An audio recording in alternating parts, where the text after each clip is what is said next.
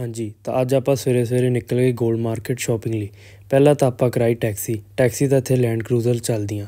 ਫਿਰ ਆਪਾਂ ਬੋਟ ਰਾਹੀਂ ਗਏ ਦੂਸਰੀ ਸਾਈਡ ਫਿਰ ਥੋੜੀ ਵਾਕ ਕਰਕੇ ਆਪਾਂ ਪਹੁੰਚ ਗਏ ਗੋਲਡ ਮਾਰਕੀਟ ਇਸ ਮਾਰਕੀਟ 'ਚ ਹਜ਼ਾਰਾਂ ਹੀ ਸ਼ਾਪ ਸੀ ਤੇ ਬੜੀ ਪਿਓਰਟੀ ਸੀ ਗੋਲਡ 'ਚ। ਫਿਰ ਘਰ ਦੇ ਗੋਲਡ ਮਾਰਕੀਟ ਘੁੰਮ ਰਹੇ ਸੀ। ਮੈਨੂੰ ਇੰਨਾ ਇੰਟਰਸਟ ਨਹੀਂ ਸੀ। ਆਪਾਂ ਆ ਗਏ ਫਿਰ ਇਲੈਕਟ੍ਰੋਨਿਕ ਮਾਰਕੀਟ ਉੱਥੇ ਆਪਾਂ ਗਏ ਜਮਜਮ ਵਾਲਿਆਂ ਦੇ।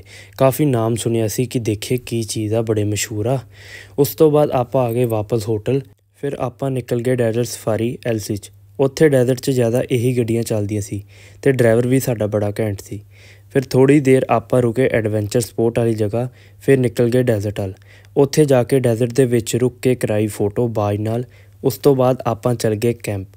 ਉੱਥੇ ਜਾ ਕੇ ਕੀਤਾ ਇੰਜੋਏ ਡਾਂਸ ਤੇ ਇਹ ਪਰਫਾਰਮੈਂਸ ਬਹੁਤ ਵਧੀਆ ਸੀ। ਇਹ ਬੰਦਾ ਅੱਗ ਨਾਲ ਇਦਾਂ ਖੇਡ ਰਿਹਾ ਸੀ ਜਿੱਦਾਂ ਜਵਾਕ ਖੜਾਉਣੇ ਨਾਲ।